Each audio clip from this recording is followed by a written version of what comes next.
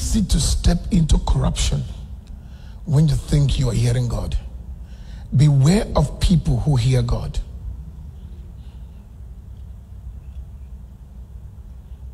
Be very careful. The Bible says in the book of, um, I think somewhere in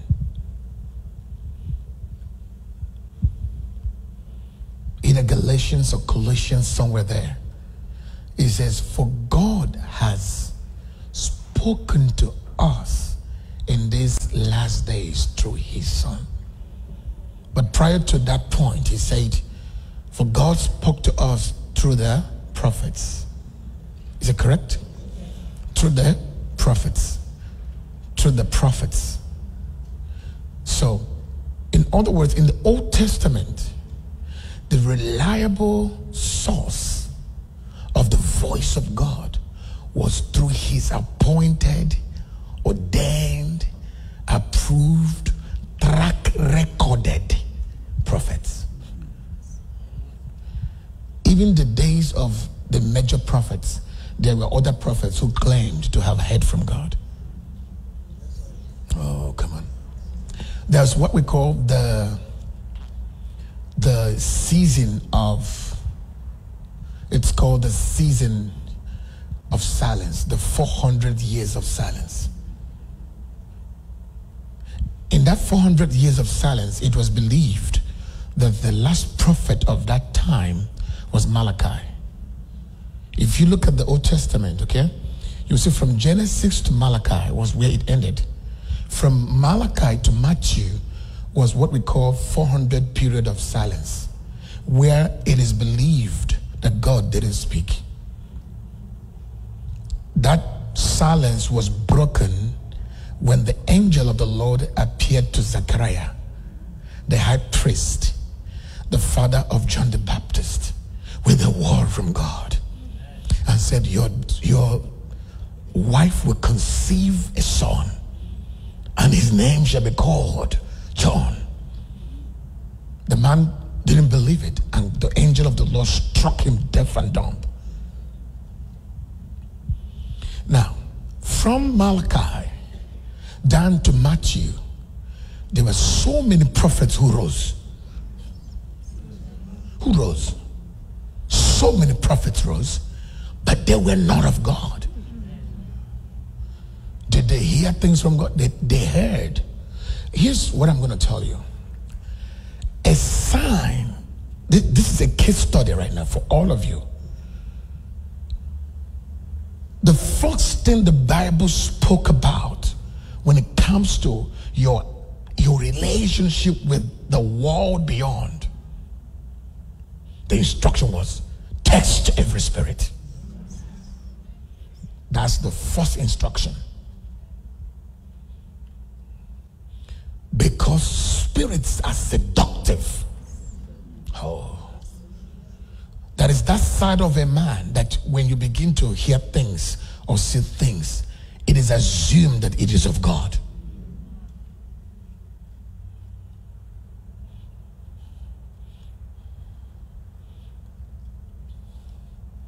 A sign, listen to this. You can begin well. God might reveal himself the first time. But once you begin to crave for it, see, encounters come from God. It's not something you crave for. For your balancing, and I was sharing with one of my daughters a couple of times ago, I said, the mistakes most people make, here's the point, is when you begin to ascend into realms, that's why I don't open much for people. One, one somebody asked me, I said, Papa John, why, how, why did you help that lady to come out of the realm? You, you remember? I prayed, I said, I will not let her go. I said, I took her there. I should bring her out. Oh, it's, oh, I got it. And then she said, why?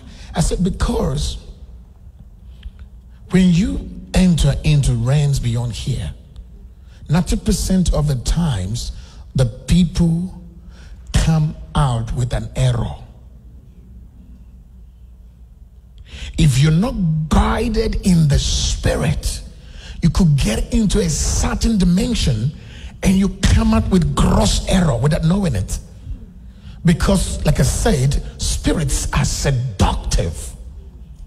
The Bible says, giving heed to seducing spirits.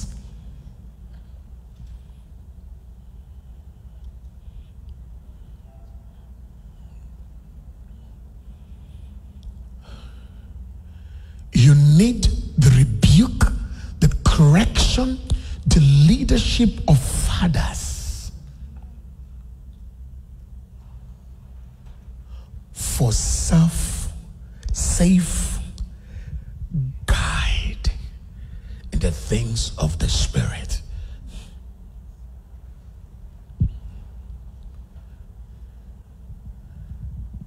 Now, for the first time, Jesus decided to show another dimension to a few portion of his disciples.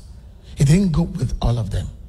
He took only the three, James, Peter, and John, and went to where? The Mount of Transfiguration. And there he began to pray, and suddenly a dimension in the spirit descended upon them. And then the Lord decided to grant Peter, James, and John the privilege to see, to perceive, and to be part of that realm of the Spirit. They were caught up into that dimension.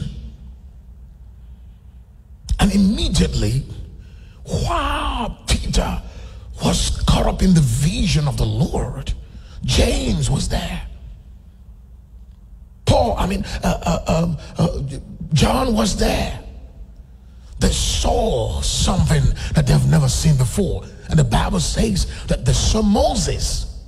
Nobody told them that Moses, that, that that was Moses. They knew.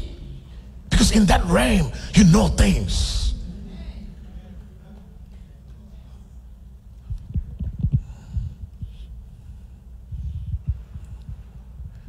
They knew. And they saw Jesus chatting, interacting, speaking, meeting, oh, glory to God, with Moses and Elijah. And immediately they were done. The cloud was lifted. And immediately Peter spoke error. An error emerged. He said, Oh Lord, let us build a tabernacle, a temple for Moses here and Elisha. Oh, that's what happens when people have encounters.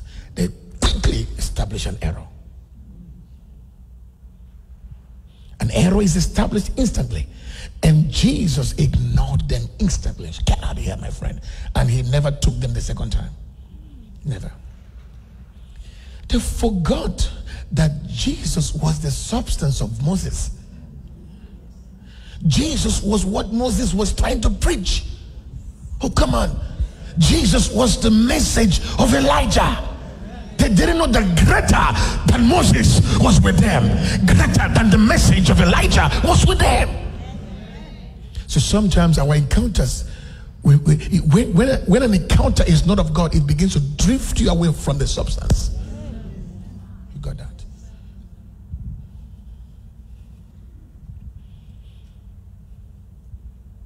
So that's what Paul says. Even though you have heard a message, okay, from an angel or from any creature that is not in line with that which we have taught you, he said it's not of God.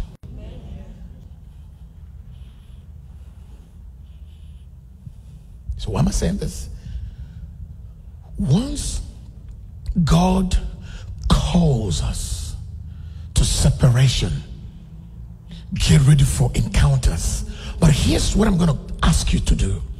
While you are stepping into series of encounters, we will evaluate your quality of obedience, purity of heart, submission to spiritual authority, then we can tell if you're hearing from God.